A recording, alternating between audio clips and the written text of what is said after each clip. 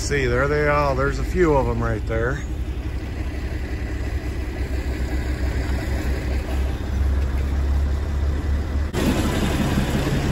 Bring in a bale of the uh, second cutting here. And that's what baits them in. Like yesterday, I made sure to give them some lower quality hay, make them a little bit hungry.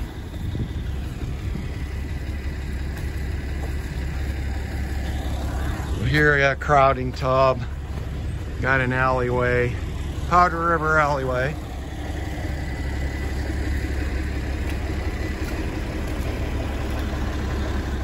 Got two holdouts. Over there.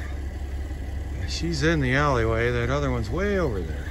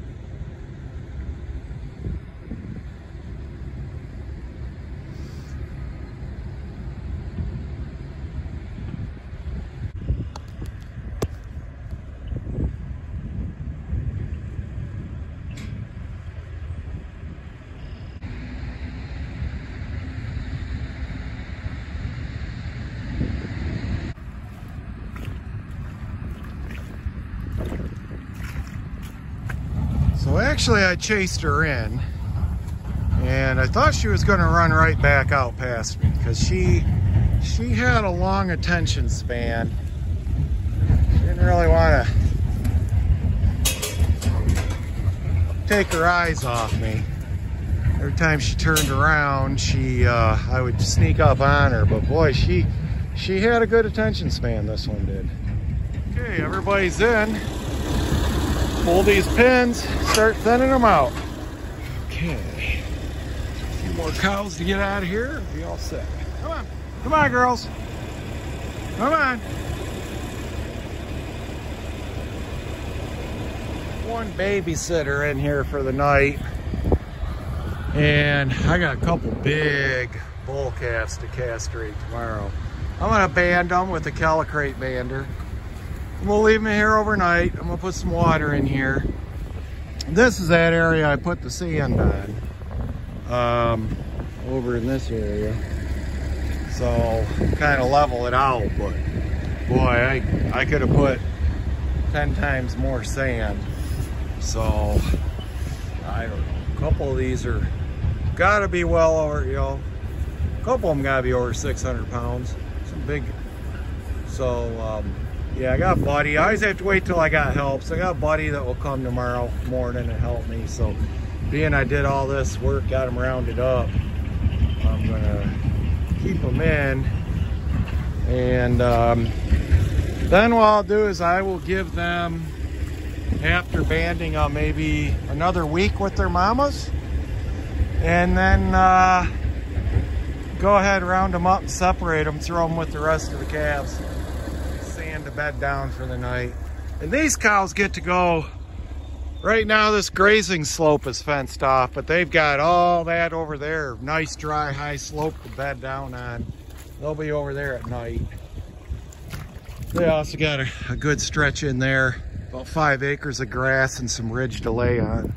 So they're not, they're not in this mud all the time. In the winter, I'll bale graze them, roll hay down those slopes or down this slope.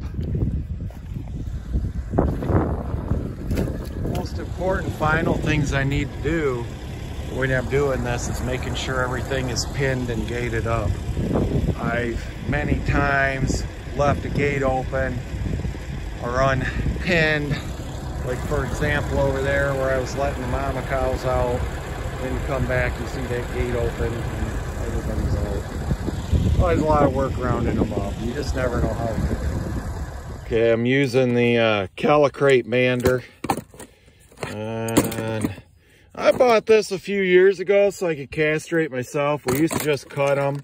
I started out banding when they were day old and it works good if you can catch the calves, but if you can't catch them, it didn't work so good. And it actually kind of didn't work good after the last year I tried it. I, you know, with the small bands is I had a bunch of misses because the babies were running around and struggling with me. And ideally you're supposed to wait till they're a few days old. But in my environment, calving in June out on grazing pasture, you can't really you can't catch them after day one. And it got to be where the cows were wise to me. You know, if they dropped a calf and you drove into the pasture, they went and got that calf wherever it was, bedded down and got it up and moving. And and I had a lot of, the last year I did, I had a lot of, a few misses, you know, that we had to cut later on. And that almost ended up being a surgical procedure, having to you know, if you got a testy retained way up in there. So I just band them now. These, I mean, could have banded them, um, you know, a couple months earlier. I think what I'm going to do is calve all at this one location this, this spring and maybe ban the calves after they're a few weeks old before I take them to other farms for grazing. Um, using the one piece uh, Z-tag. So I went to these. I don't know. People say they retain better. They they might. They do probably. Um, just kind of a one-piece system. So I only got two bulls to ban this morning, and then uh, four heifers deer tag, and I'm done done tagging for right now. And I'm gonna after that get the get the head gate chute out of the way, and then wait I don't know, a few days and get the trailer backed up to the uh, alleyway and then go ahead and, um, you know, go ahead at that point and load them up and get them to the other side of this farm where their, their cohorts are. Uh, as far as numbering, so, uh, I used to do a letter number that coordinated to the year, uh, that the, you know, a lot of cattlemen do. This is a one for 2021. That's the year they were calved. I'm going to that route. And then if I know which mother it is, I'll have up here on the shoulder of the tag what mother they're from.